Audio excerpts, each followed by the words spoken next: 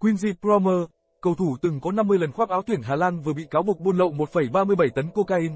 Theo NOS, Quincy Promer vừa bị cơ quan công tố Hà Lan cáo buộc buôn lậu hai lô cocaine có tổng trọng lượng 1,37 tấn. Hai lô hàng lậu này có giá trị 65 triệu bảng Anh, bị bắt giữ tại Antwerp, Bỉ, cách đây 3 năm. Vụ buôn lậu này sẽ có thêm một phiên điều trần trước buổi xét xử chính thức diễn ra tại Hà Lan vào ngày 5 tháng 6 tới. Tuy nhiên, Quincy Promer sẽ vắng mặt trong phiên điều trần cuối cùng do bận thi đấu cho câu lạc bộ Spartak Moscow tại vòng đấu cuối cùng của giải vô địch quốc gia Nga vào ngày 3 tháng 6. Ngoài tội buôn lậu cocaine, Quincy Promer còn từng bị cáo buộc tội cố ý giết người khi dùng dao đâm anh họ của mình trong một bữa tiệc gia đình vào năm 2020. Tiền vệ 32 tuổi đã nhận tội và vụ án này cũng sẽ được đưa ra xét xử vào ngày 5 tháng 6 tới. Các công tố viên Hà Lan yêu cầu 2 năm tù cho cựu tiền vệ tuyển Hà Lan vì hành vi này. Quincy Promer sinh năm 1991, từng khoác áo một số câu lạc bộ nổi tiếng tại châu Âu như Ajax hay Sevilla trước khi đầu quân cho Spartak Moscow.